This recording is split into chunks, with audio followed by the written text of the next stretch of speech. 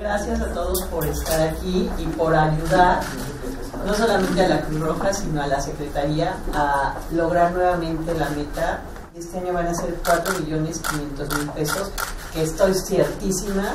se van a lograr. Es un esfuerzo fuerte el que hay que poner porque pues cada vez son más difíciles la situación para las personas y demás, pero yo creo que no hay nadie que pueda dejar de dar aunque sea un peso en la alcancía. Yo creo que el esfuerzo realmente no es eh, eh, nada equiparable a lo que pueda pasar cuando alguien requiera realmente de, los servicios de, esta institución que,